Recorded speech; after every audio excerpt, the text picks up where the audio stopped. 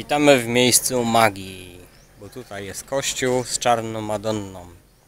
Tutaj mieszkają wszystkie witche, szamany i wszyscy, co się bawią czarną magią, bo tutaj jest czarna Madonna. A tutaj jest ten kościółek, ten najsłynniejszy kościółek na wyspie. Tutaj wszyscy mówią, że się dzieje magia.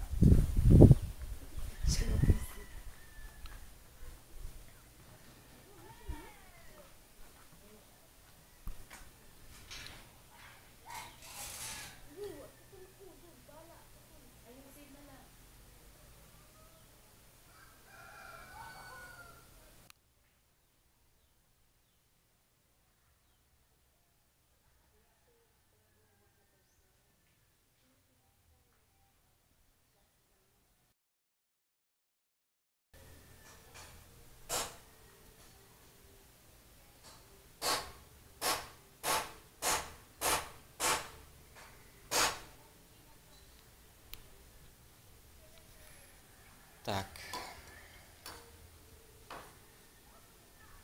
Bardzo dziwny posąg.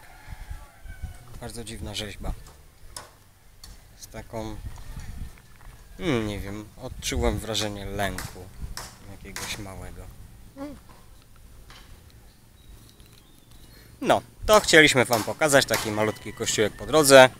Bardzo sławny zresztą na wyspie. A teraz jedziemy do Salangduan.